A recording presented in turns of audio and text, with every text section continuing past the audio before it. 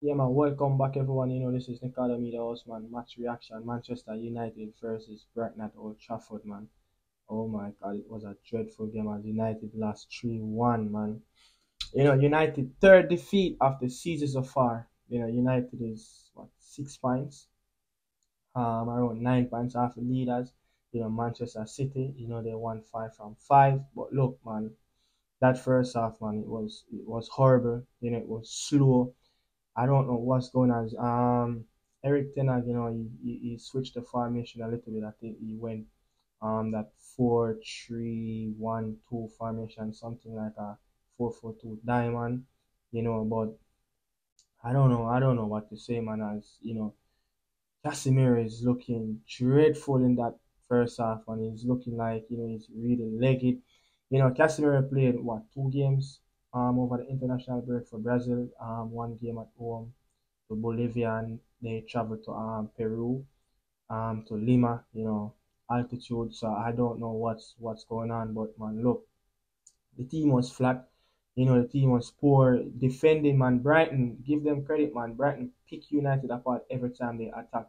Know, each time Brighton go down that, it doesn't matter if the left on the right flank, you know, they always look to pass the ball on top of the 80.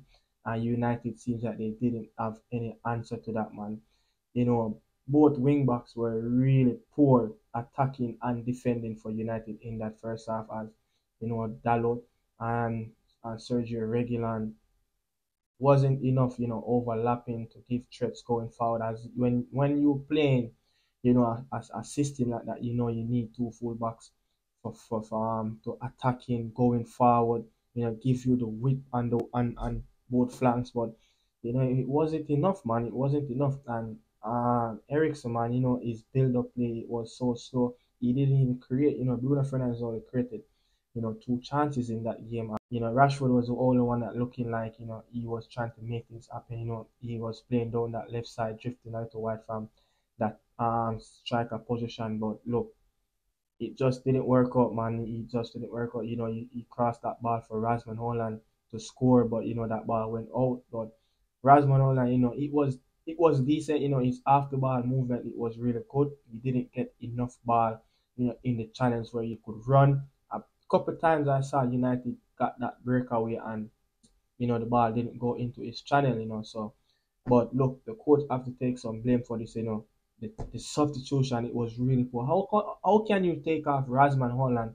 You know, someone that's running off the ball, someone that is creating space for for the midfielders to run into the box, someone that giving the defenders something to think about, and you brought on Anthony Martial. You need a goal. I mean, you took Casemiro off, you know, I could understand that, but you have to take someone else. You have to leave Rasmus Hojlund on the pitch. You know, Hojlund play um for Denmark over the international break think one game you played 45 minutes and next one you played 35 um 35 minutes. But look man what you did you know Garnacho should have came on the pitch. Pellistri should have came. You can't tell me because Garnacho went to um La Paz you know in Bolivia for Argentina. He only played five minutes of of, of um international minutes during his time away with Argentina. Only five minutes he played. He didn't play in the home game against Ecuador. He played five minutes against Bolivia in La Paz. And Darwin Nunez came on the pitch for Liverpool in the 58th minute today, and he played. I think he played. Um, he played at Ecuador. He played at Ecuador at Quito. Quito is over nine thousand um, feet above sea level, and he played home to uh, I think Colombia versus Uruguay. So you can't tell me that these players who played in those games, you know, were, weren't tired. Look, Garnacho have to um, start this game for me. I'm sorry, but that was a that was an error. You know, substitution. Everything was poor from Erik ten His, tactics were poor. The the way how he set up his team um, was poor. You know, Lindelof man and, and and and Martinez man. Oh my God, it was dreadful defending, man. Dreadful defending as you know Brighton, each time Brighton got that ball, you know, on the wing, are attacking, are in that attacking position, Welbeck and Lallana is giving United a lot of problems when they drop in the hole as we are playing with three midfielders. McTominay, Casemiro, and Eriksen, and none of them couldn't pick up Lallana and Danny Welbeck, man. I, I, I don't know what to say. It was really poor, you know, marking the Brighton players. But look, kudos to Roberto De Zerbi. You know, Brighton is doing exceptional well in the Premier League. You know, you could see the pattern of play. You couldn't see you you can't even see what United was trying to do in that game. Everything was just poor. You know, but look man, I'm very I'm very uh, frustrated right now, you know, United supporter, but look. Bayern Munich next in the Champions League and then, you know, we travel to Turf Moor, you know, but peace out man.